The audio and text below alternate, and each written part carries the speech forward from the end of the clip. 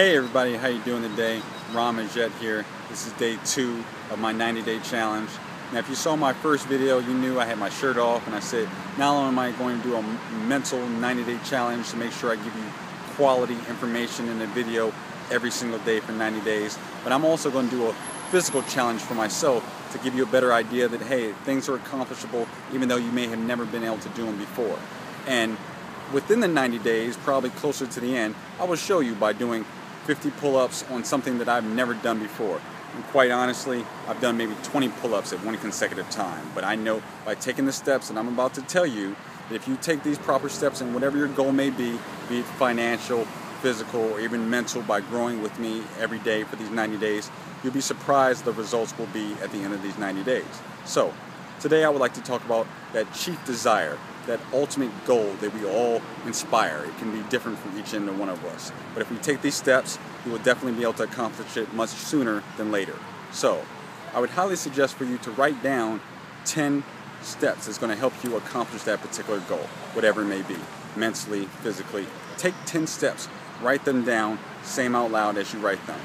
But just as important as taking that time to write down 10 steps, I want you to write down five steps of things that you will do less of or stop completely to help you accomplish those goals. See, so many people want to say have a greater uh, money uh, for an annual income, but yet in the same token, they go out partying each weekend, spending hundreds of dollars on liquor.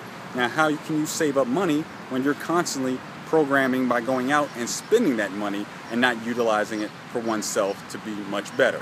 Also, you know, if you're trying to do something of a physical nature, I personally know I cannot have a bottle of wine every night for dinner and then expect my 6 a.m. runs to be that much greater and actually get things accomplished.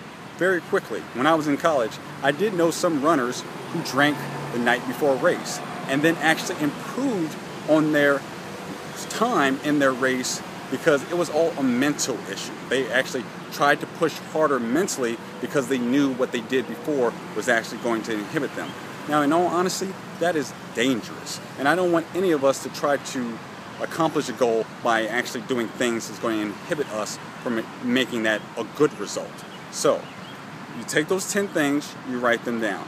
You also write five things down that's going to help you accomplish that goal because you're going to do less of them, be it drinking, be it spending money, whatever the case may be. Take a picture of it with your phone. A lot of times people say, oh, wake up in the morning, see it, see it when you go to bed. That's not enough. It was never enough for me. You need to see it 20, 30 times a day. And I know that seems extreme. So if you work with your computer, make that your wallpaper. Whatever those 15 things you wrote down, make that your wallpaper. And every time you get frustrated at the day, you look at your wallpaper and you see, hmm, this is what I'm trying to do. I'm taking these steps to accomplish this. Also, take a screenshot with your phone.